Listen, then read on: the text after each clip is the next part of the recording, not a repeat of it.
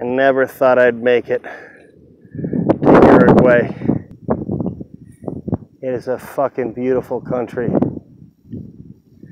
This is the Kaini Haini region of Uruguay. Thank you, Lord, for making this place.